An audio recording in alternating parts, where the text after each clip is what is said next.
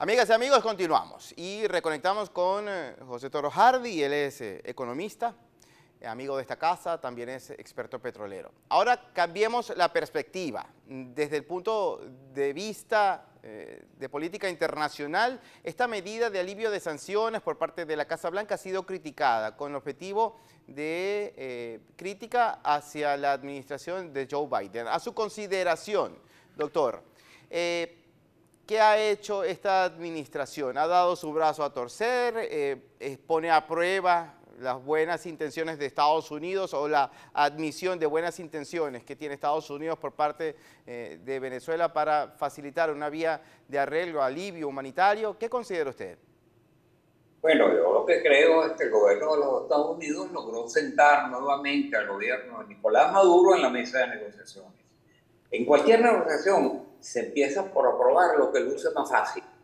Y entonces después se van incorporando nuevos temas para, para, negociar. Eso es lo que han hecho. Sentar nuevamente en la mesa de negociaciones a Nicolás Maduro.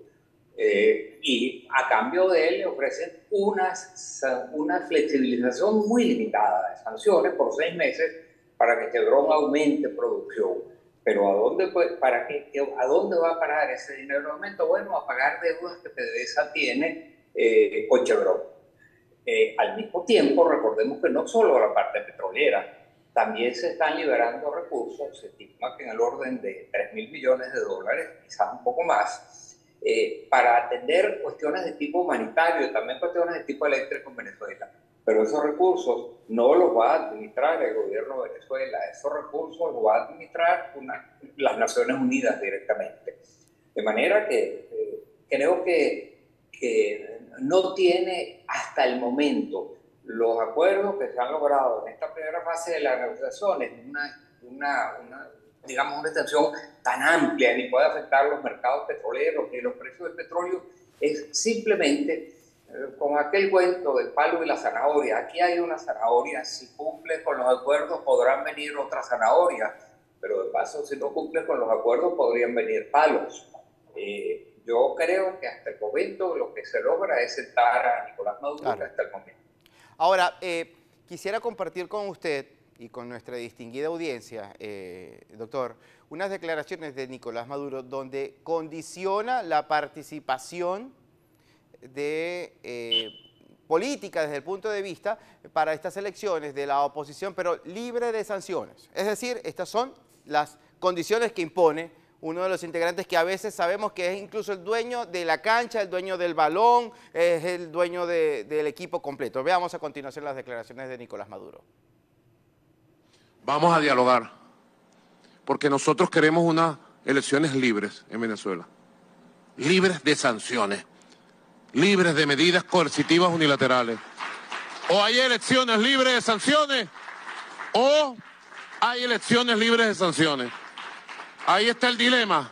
Elecciones libres, ¿quieren? Justas y transparentes. Elecciones libres de sanciones. Libres de medidas coercitivas unilaterales. Que las quiten todas. Que se las lleven todas para ir a unas elecciones frescas, bonitas, buenas, en el momento que la Constitución determine y el Consejo Nacional Electoral como órgano rector. La palabra que diga el Consejo Nacional Electoral, palabra sagrada. Eso sí, nosotros vamos a buscar, doctor Jorge Rodríguez, jefe de la Delegación de Negociación de Paz de Venezuela, nosotros vamos a buscar las mejores condiciones para que haya elecciones libres de sanciones. Bueno, ahí encomienda el psiquiatra eh, de Miraflores este tipo de tarea. Eh, ¿Qué tan difícil puede ser esto lograr eh, en, este primer peldaño de, la escalera, doctor? Bueno, no, en este primer peldaño luce muy difícil, pero recordemos que la situación del gobierno es muy compleja. El dólar empezó, el bolívar empezó a deslizarse otra vez, la inflación que está repuntando la situación económica se transforma otra vez, vuelve otra vez a agravarse, digamos, eh, hay límites a los cuales eh, ellos saben los, riesgos en que pueden incurrir si van más allá de la cuenta. Pero mm, desde luego que ni la comunidad internacional, ni eh, la oposición, ni nadie Venezuela va a aceptar que simplemente haga unas elecciones que no estén supervisadas, que no haya garantías, que no haya eh, supervisión internacional. Porque lo que queremos es que haya elecciones que sean justas y libres. Hasta el momento no son así, no han sido así, no lo demuestra la experiencia. ¿Se va a lograr en las negociaciones? Yo espero que sí, yo espero, porque eso es lo que, más, lo que vamos a necesitar. Sí. Más puede decir ese señor sino lo que está diciendo. Si es una cosa diferente, bueno, entonces ya de, sí. de hecho... Sí, esto es retórica política, sin duda. Ahora, eh, eh, doctor, quisiera para advertir al soberano, a nuestros venezolanos en nuestro país, sobre otra retórica política que puede llegarle. Este tipo de actividad de Chevron puede mejorar las condiciones de combustible, de acceso al combustible al venezolano que todavía eh, reclama en muchas ciudades del país? Bueno, fundamentalmente lo que es el aumento de producción va, va destinado a los Estados Unidos. Pero recordemos que para poder aumentar esa producción se va a reactivar una de las cuatro plantas mejoradoras de crudo en la cual participa Chevron. Eh, para poder acceder a, para poder reactivar esa planta mejoradora de crudo, hacer las mezclas adecuadas, en lugar de importar los diluentes, los diluentes desde Irán, se van a poder importar desde los Estados Unidos, podrá hacerlo Chevron directamente.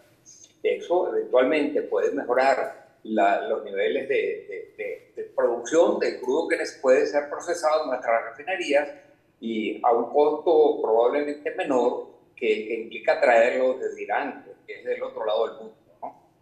Um, hablando de la participación de actores internacionales. Eh, recientemente vimos un, un, un, mensaje posteado en la red social Twitter de un investigador periodista estadounidense indicando sobre operaciones dudosas de un tanquero venezolano de combustible en Curazao. Esto es contrabando. ¿Estaría esto ocurriendo desde hace tiempo con la anuencia de gobiernos extranjeros? ¿Esto, ¿Esto ha ocurrido? ¿Qué, ¿Su consideración al respecto, doctor? Bueno, yo no sé si con la anuencia de gobiernos extranjeros, pero es evidente que ha venido ocurriendo. Nosotros hemos visto que para bypassear las sanciones han venido llegando tanqueros, incluso con los transponders apagados, han venido llegando tanqueros de, a lo mejor de iraníes o de otras procedencias, pero es una manera de pasear las sanciones. Yo creo que el hecho de que con los aumentos de producción se puedan dirigir al mercado que mejor nos remunera, que es el mercado americano, puede ser positivo para Venezuela. Pero entendamos, esta operación también tiene muy, muchas críticas por parte del gobierno. Eh, eh, hay mucha gente dentro del gobierno que lo que está diciendo es que, es que, que si no va a pagar impuestos, no va a pagar regalías, ¿cuál es la gracia de hacer esto? Bueno, la gracia es que para poder hacerlo hay que hacer inversiones y esas inversiones tienen un efecto multiplicador dentro de la economía. Sí, por supuesto, es como reconstruir un historial de crédito. Para reconstruir este historial de crédito tiene que pagar sus deudas. Es decir, me imagino que quieren recibir ya regalías por esta producción petrolera, pero primero tienen que salir de, de estas deudas, tienen que ahorrar esos compromisos. Claro, lo que pasa es que las deudas son mucho más grandes que las que... Ya vemos ahí que Venezuela acaba de ser condenado a pagar en el caso de ConocoPhillips unas cantidades inmensas. También está el caso de leche, también inmensa la cantidad de deudas que hay que cubrir. Yo diría que ha habido una serie de sentencias muy graves, sí. pueden afectar mucho a, a, Venezuela, pero yo diría que la más seria de todas las sentencias que se ha pronunciado en los últimos veintitantos años fue pronunciada cerca de la Plaza Bolívar con un señor que gritaba expropies, expropies, expropies. Y a partir de ahí, en esa sentencia terrible, empezaron buena parte de los daños que ha sufrido después la economía venezolana.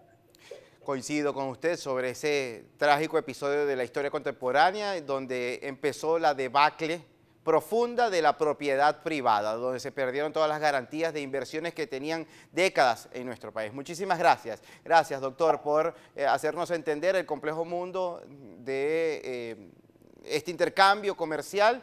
Esperemos que haya sensatez, esperemos que no tengamos sorpresas próximamente. Un gran abrazo a la distancia, por favor. A la orden siempre. Seguro que sí, seguro. Conversábamos con José Toro Hardy, él es economista, amigo de esta casa, también es experto petrolero. Ya venimos.